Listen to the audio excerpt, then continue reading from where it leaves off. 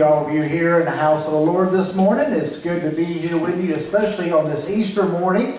I hope you know this old call and response, but He is risen. He is risen. He is risen indeed. That's right. That's why we are here to celebrate. That's what we are here to celebrate this morning in particular. The fact that Jesus Christ, after being dead, came back to life three days later. And uh, we're going to get to the kids program in just a minute. They're going to act out that story for you. And then uh, we'll have a, a, brief message because you can't stop a preacher from preaching, especially not on Easter. So uh, the brief message, and uh, then we'll go about our day. But I want to thank you for being here. Uh, all of our guests, uh, if you don't mind, throw out that little card in front of you and put it in the offering plate so we have a record of your visit. And we'll have the offering here in just a moment. Uh, real quick, if you would, join me in your bulletins. I got just a couple of things to highlight. Um, I want to say thank you and join the bulletin in saying thank you to everyone who helped prepare breakfast for us this morning. Our sunrise service was a little damp, so we moved it inside. But uh, besides that, it was a great time. We had a good time together and a great meal. Thank you to everyone who uh, put that together. And I want to say that you all have opportunities to help feed children. And I think as Southerners, that's something we all love to do. We feed people, especially little kids, right? So there are two ways which we can help feed kids. One, we can help Camp Cale raise money for their new cafeteria. And you see that there in the third announcement about the uh, pig on the Perquimans.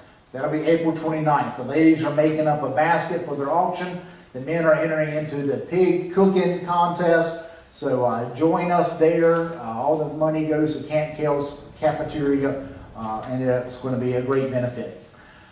And then the second is the one right below it, the Baptist Children's Homes. We're doing the food roundup for them, and that will take uh, Food Lion or Sam's Club's gift cards or food donations, uh, dry food donations to them, and that goes to the Baptist Children's Homes across the state. And they, of course, take in kids who need safe places to live, and they feed them, help take care of them, share the gospel with them, and hopefully help them find eternal homes, forever homes. All right? And you see there on April 30th, we're going to have a special uh, worship time with OBX Bluegrass. That'll be 3 o'clock Sunday the 30th, the fifth Sunday of this month. Right? Anything else that needs to be announced to come before the church? All right. Well, then let's um, go straight to our prayer time. Sorry, we shifted things around a little bit to make room for the play, so that it's not my habit. Uh, do we have the parking lot's be done this week, supposedly. Yes. Just be prepared if you come, it might be blocked off sections or something. Right. Don't drive through the parking lot. We need to tell everybody in Weeksville. Don't just come driving through the parking lot to get the crosswinds. Uh, was that Monday and Tuesday? Tuesday, Wednesday. Tuesday and Wednesday. Tuesday and Wednesday, hopefully weather's still permitting and the, the guy can get to it, they'll be um, patching the cracks and repainting the lines in the parking lot like we uh, voted on last year. Okay, Thank you, Ken. Yeah. All right, in terms of prayer requests, uh, they didn't make it back, but Rick and Linda were here this morning, and I got to talk to Linda some. Betty Jo has come back home from the nursing home, uh, and she's doing better than she has in the last couple of years, according to Linda Jo. So that's a great praise. Uh, it doesn't mean, as far as we know, that her liver is cured. Uh, we know the Lord can, but as far as we know, He hasn't. But she is doing better, and we just still pray that she continues her rehab at home and continues to improve and uh, just be a blessing to her family that way. Right. What other prayer requests or praises? Um, our newest member, Tammy, is going to be going to John Hopkins tomorrow for some, uh, testing, I believe it is, and I think that we could all remember her and her, uh, whatever them doctors are. uh, Doctors. To know what to do for her. Yeah. yeah, I guess leaving. medical personnel is what I was supposed to say, Oh, but okay. it didn't come out that way. Oh, those doctor people, that's, Yeah. God knows who they are. Uh, but yeah, Tammy's going to John Hopkins uh, tomorrow. She'll be gone for a few days. So remember her travels and the tests that they would find what needs to be found and have uh, a good plan of action because of it. Who else? I have a praise. Yeah. Um, my mom, I took her back to the eye doctor this week and she got a little bit better report this time. Good, So please keep praying. good. Yes, let me keep Miss Betty Benton and Miss Betty Joe, so both Bettys in prayer, but uh, that's good news. And she hasn't had a lot of improvements lately, so that's good. Any little news is good news. Who else? All right, let's go to Lord in prayer. Holy God, we thank you for this day you have given us, this day to celebrate that you came back to life from the dead, Lord Jesus. Uh, you couldn't be our Lord if you stayed dead, because you would just be in a tomb like everybody else. But Lord, you said that you would be killed by sinful men. The prophet said you would die, and they both, they and you, said you would come back to life. And so you kept that promise, and you displayed your power and your victory over death and hell and the grave, and we are so in awe and so grateful to you. And so we praise you, Lord Jesus. I want to say thank you. I want to ask you to please be with these that we've mentioned, both Betty Joe and Betty Benton and Tammy, and the unspoken requests, the ongoing medical need requests. And Lord, I just pray that you would be with our kids as they come out. Help them to uh, remember their places and where they need to be and when, and um, just help everybody behind the scenes. And I pray, Lord, that this would glorify you and help us to remember your story, the gospel story, that you died for us and you came back to life for us. And Lord, you are now seated at the right hand of God, and one day everything will be put under your feet, and you will be Lord over all of creation, as you should be. And we who follow you will rejoice with you and be in that creation forever in your company. We praise you. We look forward to that. And Lord, while we wait, help us to spread your good news to others so they also will be ready. We thank you for all your many blessings, and we pray that you continue to pour them out on us because we need you. In the name of Jesus, amen. Uh, we're moving to our offertory hymn now. So, ushers, this is the offertory hymn. Usually it's just second, but we're going straight there tonight. Uh, hymn number 277, Take My Life and Let It Be. Hymn number 277. Let's sing the first, second, and last.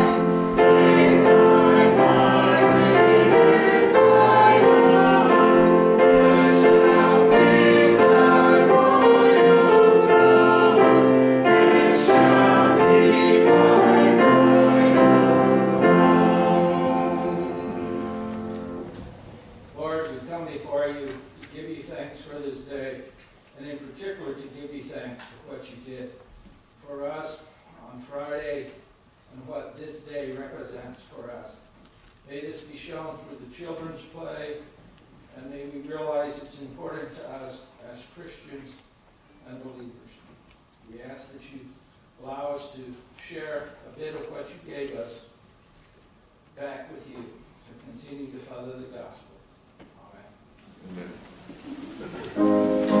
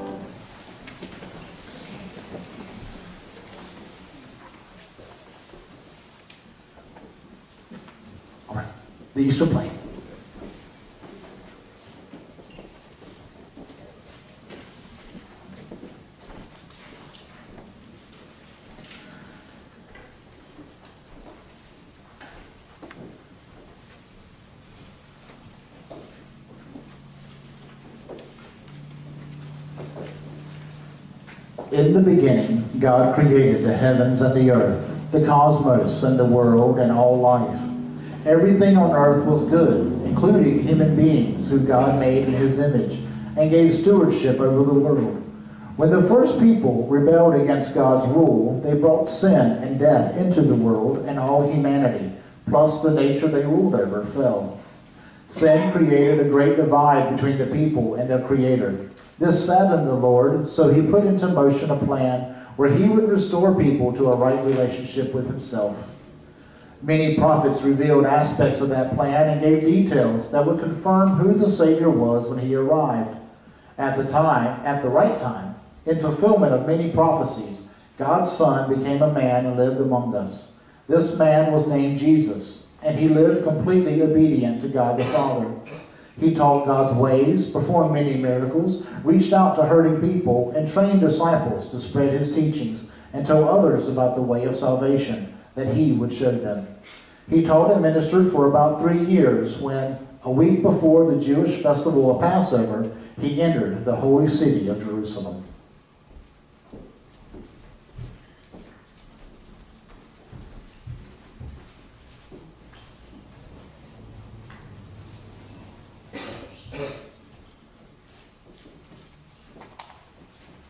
As they approached Jerusalem and came to Bethphage on the Mount of Olives, Jesus sent two disciples, saying to them, Go to the village ahead of you, and at once you will find a donkey tied there with her colt by her. Untie them and bring them to me. If anyone says anything to you, say that the Lord needs them, and he will send them right away. This took place to fulfill what was spoken through the prophet. Say to daughter Zion, See, your king comes to you, gentle and riding on a donkey on a colt, the foal of a donkey. The disciples went and did as Jesus had instructed them.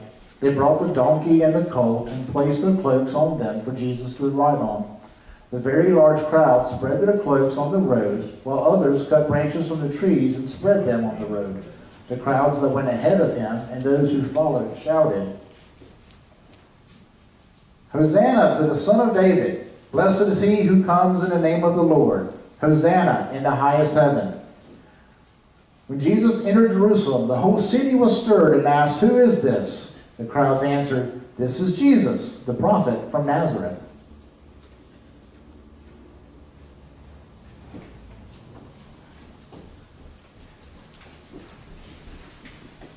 Now, if you would take your hymn books and join in singing hymn Lift Up Your Heads, number 128. We'll sing all three verses of hymn 128.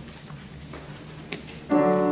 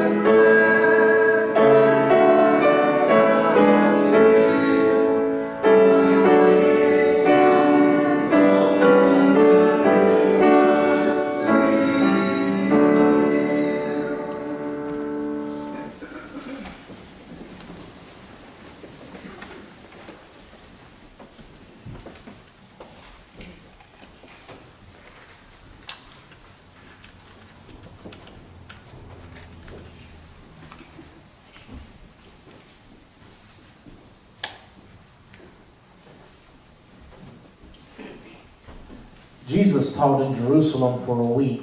Many of the Jewish leaders felt jealous and threatened by his popularity and his teachings. They began plotting Jesus' death.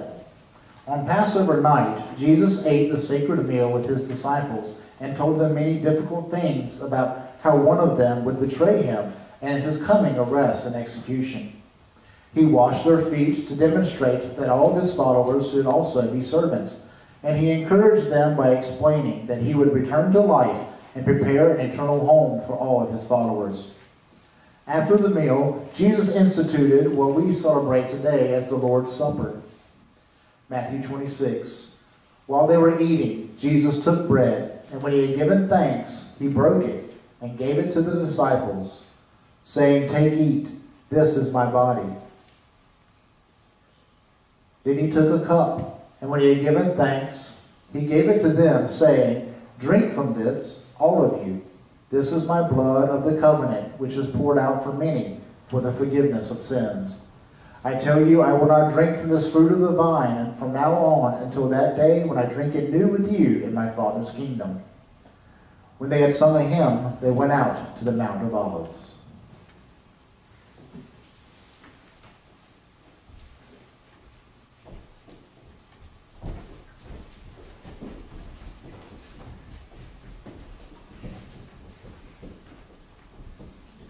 And now we will sing hymn number 374, Your Supper, Lord. Hymn 374, all four verses.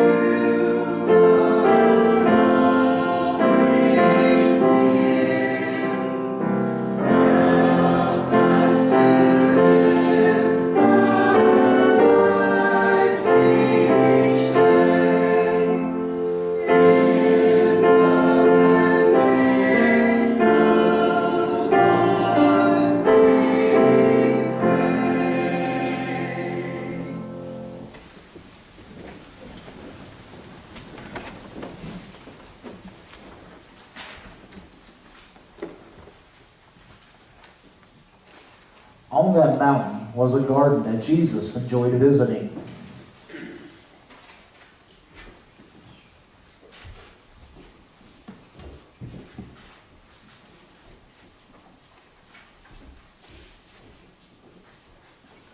Luke 22, 39 to 53 says, Jesus went out as usual to the Mount of Olives, and his disciples followed him.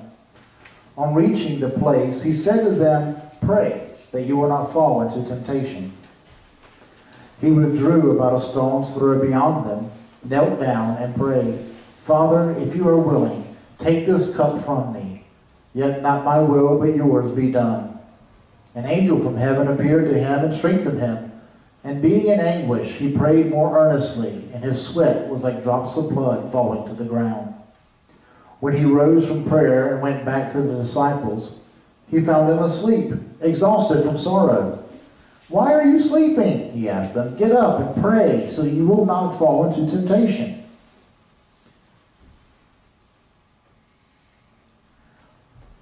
While he was still speaking, a crowd came up, and the man who was called Judas, one of the twelve, was leading them. He approached Jesus to kiss him. But Jesus asked, Judas, are you betraying the Son of Man with a kiss? Then Jesus said to the chief priests, the officers of the temple guard, and the elders who had come for him, Am I leading a rebellion that you have come with swords and clubs? Every day I was with you in the temple courts, but you did not lay a hand on me. But this is your hour when darkness reigns.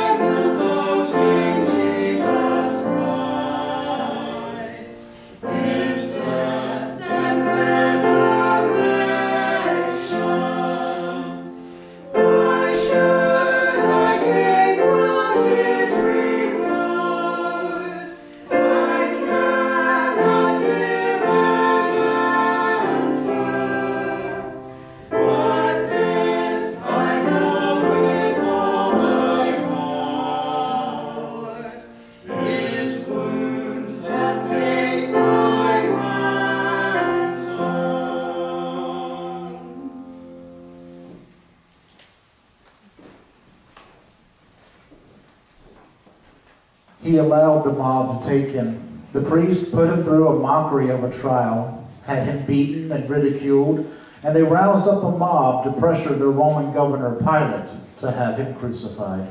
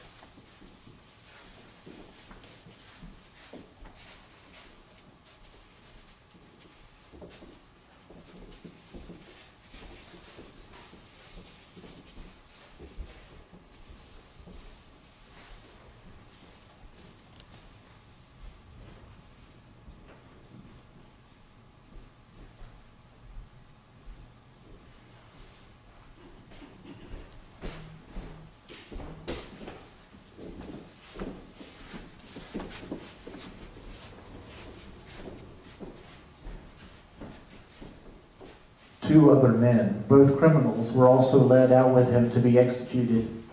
When they came to the place called the skull, they crucified him along with the criminals, one on his right, the other on his left. Jesus said, Father, forgive them, for they do not know what they are doing. And they divided up his clothes by casting lots. The people stood watching, and the rulers even sneered at him. They said, He saved others, let him save himself if he's God's Messiah. The soldiers also came up and mocked him. They offered him wine vinegar and said, If you're the king of the Jews, save yourself. There was written a notice above him which read, This is the king of the Jews. One of the criminals who hung there hurled insults at him. Aren't you the Messiah? Save yourself and us. But the other criminal rebuked him. Don't you fear God, he said, since you are under the same sentence? We are punished justly, for we are getting what our deeds deserve. But this man has done nothing wrong. Then he said, Jesus, remember me when you come into your kingdom. Jesus answered him, Truly I tell you, today you will be with me in paradise. It was now about noon, and darkness came over the whole land until three in the afternoon. For the sun stopped shining. The curtain in the temple was torn in two. Jesus called out with a loud voice, Father, into your hands I commit my spirit. When he had said this, he breathed his last. The centurion, seeing what had happened, praised God and said, Surely this was a righteous man. When all the people who had gathered to witness the sight saw what took place, they beat their breast and went away. But all those who knew him, including the women who had followed him from Galilee, stood at a distance watching these things.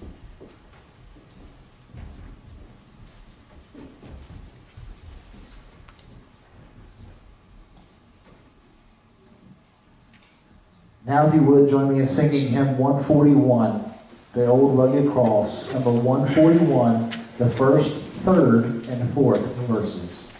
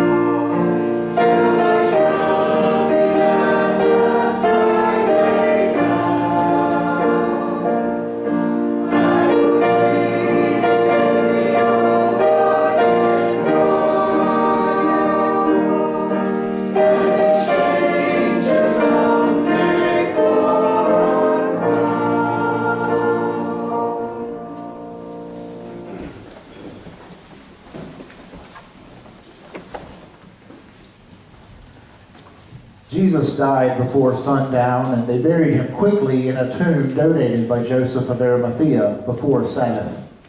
The Jewish leaders got Roman guards from Pilate to secure the tomb and make sure the disciples did not steal the body. Early Sunday morning, women who loved and followed Jesus went to the tomb to anoint his body. The Bible tells us that on the first Easter morning, two angels of the Lord appeared at the tomb and rolled back the stone. Their appearance terrified the guards.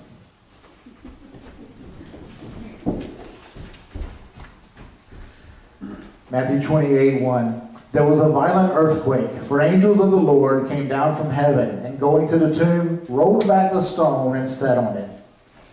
Their appearance was like lightning, and clothes white as snow. The guards were so afraid of them that they shook and became like dead men. The angel said to the women, Do not be afraid, for I know that you are looking for Jesus, who was crucified.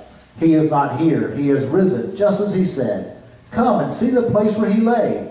Then go quickly and tell his disciples, He has risen from the dead and is going ahead of you into Galilee. There you will see him.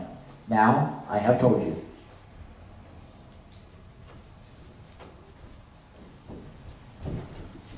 So the women hurried away from the tomb, afraid yet filled with joy, and ran to tell his disciples. Suddenly Jesus met them.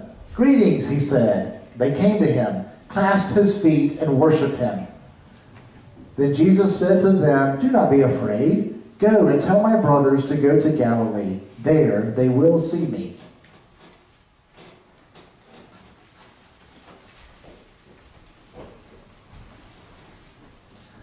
You're with us saying, Christ the Lord is risen today, hymn number 159. One, first and last verse, 159.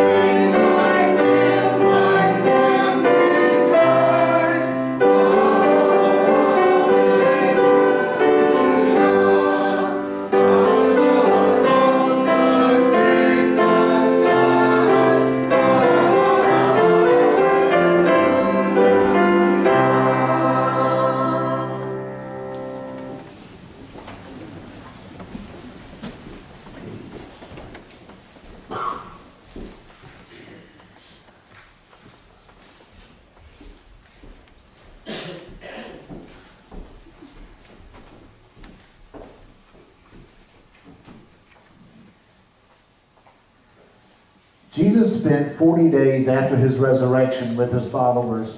The Bible tells us that at one time about 500 people saw him alive during those 40 days. On his final day with them, Jesus told them to wait in Jerusalem for the Holy Spirit. Acts 1 8 says, But you will receive power when the Holy Spirit comes on you, and you will be my witnesses in Jerusalem, in all Judea and Samaria, and to the ends of the earth. After he said this, he was taken up before their very eyes, and a cloud hid him from their sight.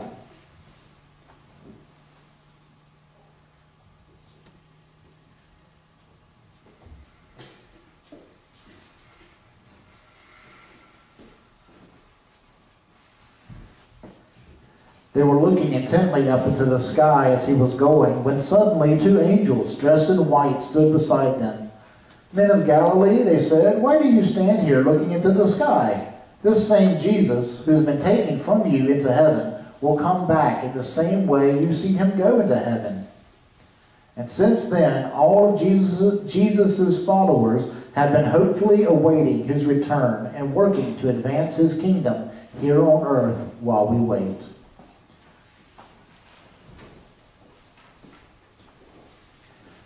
Children have a song they want to sing for you. Give us just a moment.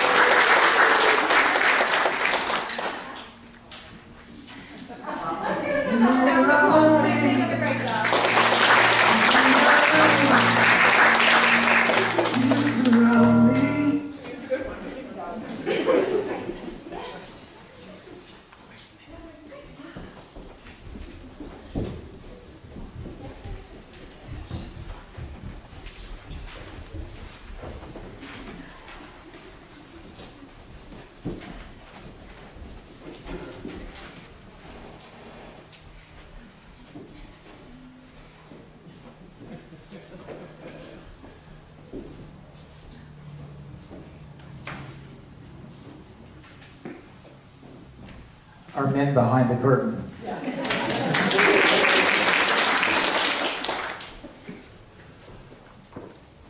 I want to thank Melissa and everybody else who was involved, all the parents who stayed and held, uh, volunteers back there who wrangled the kids and got them lined up, our set piece movers and our men behind the curtain, everybody who was involved, thank you uh, for having the kids to, uh, to do that. Uh, like I said, I want to preach for just a minute, and then I know you're ready for some Easter lunch, some of you have family plans. But if you would for a second, join me in Revelation chapter 1.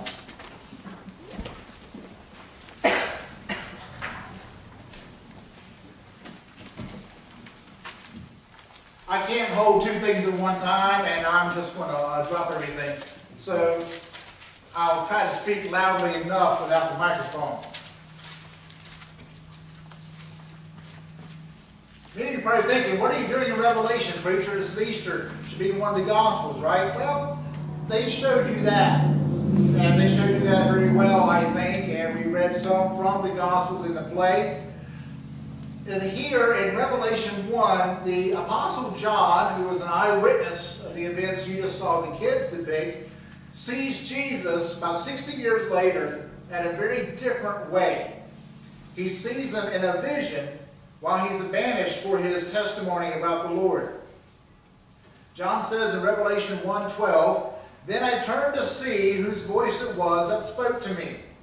When I turned, I saw seven golden lampstands, and among the lampstands was one like the Son of Man, dressed in a robe, and with a golden sash wrapped around his chest. The hair of his head was white as wool, white as snow, and his eyes like a fiery flame. His feet were like fine bronze, as it is fired in the furnace, and his voice like the sound of cascading waters. He had seven stars in his right hand. A double-edged sword came from his mouth, and his face was shining like the sun at full strength. When I saw him, I fell at his feet like a dead man. He laid his right hand on me and said, Do not be afraid. I am the first and the last, the living one. I was dead, but look, I am alive forever and ever, and I hold the keys of death and Hades. Now, Hades, if you're not familiar with Greek mythology, was the realm of the dead. Uh, some translations render that death and hell. Uh, it wasn't necessarily the place of punishment. We think of hell, it is the realm where all the dead would go before they were judged. And I want us to look at this picture of Jesus. Because we think so often of him as the baby in a manger at Christmas, or the man on the cross at Good Friday and risen on Easter, and that is appropriate, that is great. But this is, as Paul Harvey would say, the end of the story. Where Jesus is appearing to John, he's showing him how the story is going to end, and he is glorified. He is wondrous in appearance, bright like the sun, his feet like heated up bronze metal. His sword, his, his word coming from his mouth is sharp and powerful like a sword. This is the Christ who will reign forever and ever. And he says to John, I am the living one. I have life in myself and of myself. I was dead. You saw it, John. You remember that, right? You can never forget it. But I'm alive. You saw me come back to life, but I'm still alive. I'm still in glory. I'm in God's presence at his right hand. John, I conquered death that day when I came back to life. I have the keys. And having the keys to something is a sign of great authority and great power. John uses it several times in Revelation. But it means basically, like, we have keys. I can let people into church because I have the key to it. I can let people into my house because I have the key to it.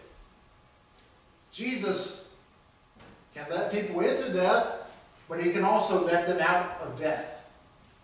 He has the key to the gates.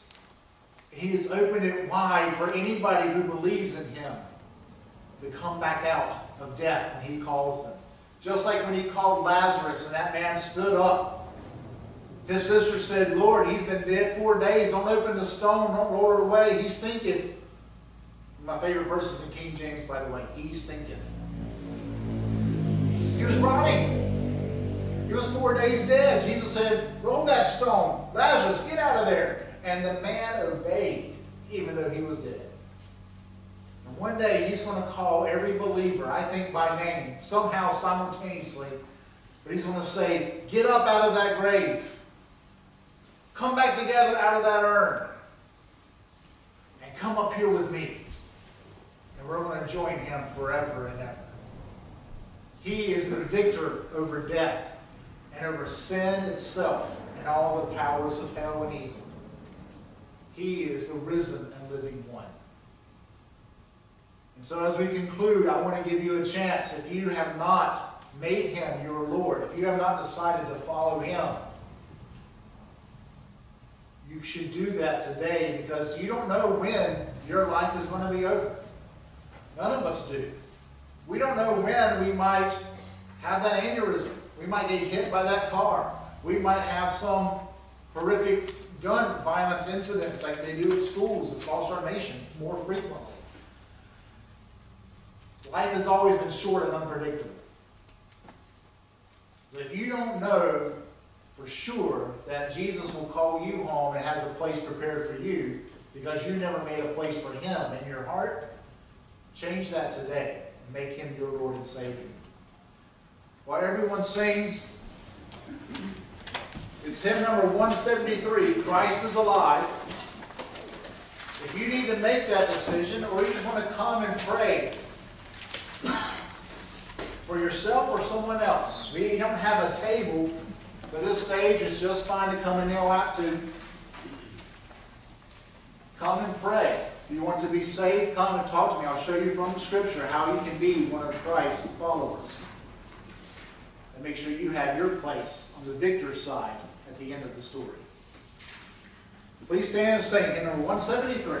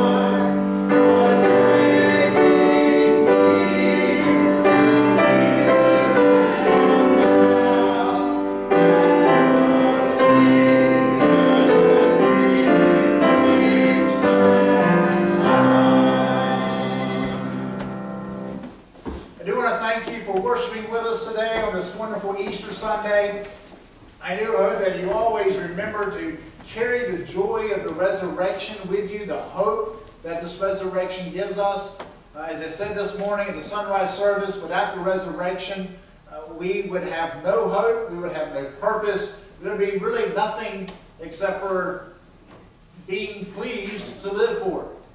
We have so much more and so much to be thankful for because Christ cared for us and loved us so much. He died and came back to life to save us and to share that victory with us, even while we were his enemies. Carry that with you today. Carry that with you tomorrow and always. And people will wonder, what in the world is weird with them? And that's a good thing, that gives you a chance to say, Jesus made me different. Jesus makes me glad. Jesus makes me peaceful and hopeful. Let me tell you about it. That's how we can share the good news. Brother Ken's going to give us a benediction. I'll be at the front door. Uh, don't hurry up and leave. Our kids are back here. Let them. Uh, Putting the things back on the floor. Mm-hmm. Need help? oh yes, men, we need some help, some good backs, to move furniture back, and uh, set pieces off, that sort of thing. Okay, so don't run away. Love on the kids. Tell them how good they did. Uh, if you got a good back, help us move some furniture. Thanks. If you would. Dear Heavenly Father, we thank you for this day. We thank you for you being, accepting the cross, being on the cross and dying for our sins. And Lord, you've taken our sins away by that act. And Lord, we need those that have not accepted you, may they come and accept you. And those of us that have, Lord, may we praise you forever and bring others to you into your fold. As we go out into this, from this church and into the community, let us praise your name forever. These things we ask in the son's name, Jesus. Amen. Amen.